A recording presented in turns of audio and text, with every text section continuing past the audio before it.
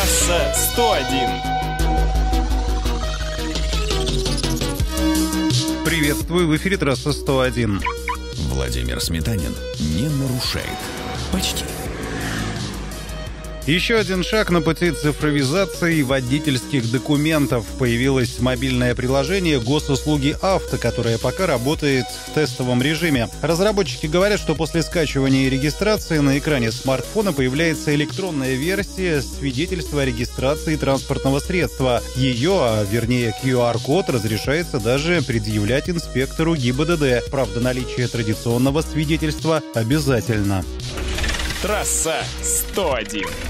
Появился, как его называют, окончательный список требований к средствам индивидуальной мобильности, разработанный Министерством транспорта. В частности, там говорится, что на электросамокатах, гироскутерах, моноколесах и других штуковинах нельзя будет передвигаться со скоростью выше 25 км в час. Ехать разрешается по правой стороне проезжей части при условии, что у устройства имеются тормоза, звуковой сигнал, светоотражатели и фонари. Если Сима весит больше 35 килограммов, появляться на нем на тротуаре нельзя.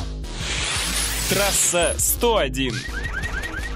Сотрудники ГИБДД, сообщает Автоньюз, стали чаще применять более строгое наказание к водителям, не имеющим полиса ОСАГО. Они не просто выписывают штраф 800 рублей и отпускают шофера, но еще и оформляют требование застраховать авто. Если с таким багажом попасться еще раз, то можно получить до 15 суток ареста за невыполнение законного требования сотрудника полиции. Прецедентов таких много.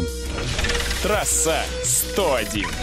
КАМАЗ всерьез намеревается начать серийный выпуск компактного электрического кроссовера КАМА-1. Планы могут быть реализованы в 2024 году. Машина была представлена в конце прошлого года. Оснащается она электромотором мощностью почти 110 лошадиных сил, запас хода 250 километров. Внутри могут поместиться 4 человека. Ожидается, что стоимость новинки не превысит 1 миллиона рублей. Трасса 101.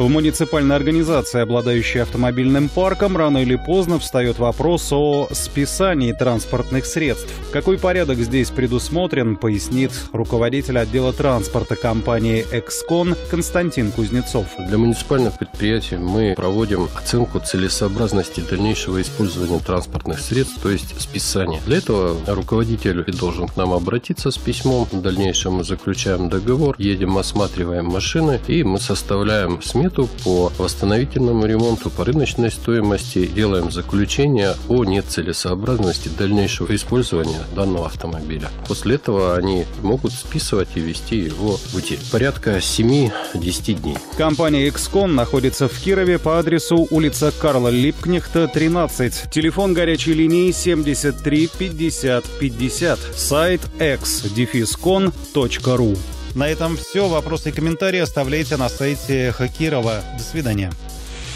Трасса 101.